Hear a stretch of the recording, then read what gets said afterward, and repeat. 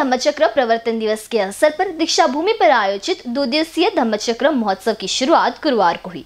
सरकार के कोविड संबंधी नियमों का पालन करते हुए बड़ी संख्या में बौद्ध अनुयायी दीक्षा भूमि पर पहुँचे। इस बीच सुरक्षा के लिहाज से दीक्षा भूमि में करीब पच्चीस पुलिस कर्मचारियों और अधिकारियों को तैनात किया गया।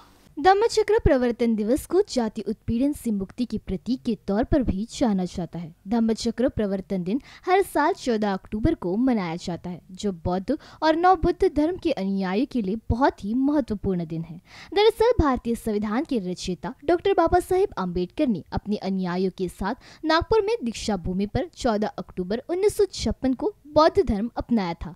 इस दिवस को जाति उत्पीड़न से मुक्ति के प्रतीक के तौर पर भी जाना जाता है। इस दिन देश में हो रही जाति व्यवस्था के तहत निरंतर उत्पीड़न और भेदभाव का मुकाबला करने के लिए डॉक्टर बाबा साहेब आम्बेडकर ने बौद्ध धर्म में परिवर्तित होने के लिए एक बड़ा कदम उठाया था। उनके इस कदम को भारतीय इतिहास की सबसे महत्वपूर्ण घटनाओं में से एक माना जाता है।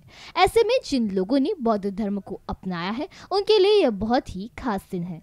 इस अवसर पर कई जगहों पर विविध कार्यक्रमों का आयोजन किया गया, जिसमें नागपुर की दीक्षा भूमि का विशेष स्थान है। दीक्षा भूमि में 14 और 15 अक्टूबर को डॉक्टर बाबा साहेब अंबेडकर के अनुयायियों का खासा उत्साह देखा गया। वही इस दरमियान लोगों की ज़्यादा भीड़ न हो और कोरोना नियमों का उल्लंघन न हो, इस उद्देश्य से पुलिस का भी तगड़ा बंदोबस्त दिखाई दिया। सुरक्षा के लिहाज से दीक्षा भूमि में करीब 2500 पुलिस कर्मचारियों और अधिकारियों को तैनात किया गया। बता दें कि इस वर्ष कोरोना के कारण दीक्षा भूमि पर धार्मिक अनुष्ठानों पर पाबंदी लगाई गई थी। हालाँकि अनुयायियों के प्रवेश पर किसी भी तरह की पाबंदी नहीं थी।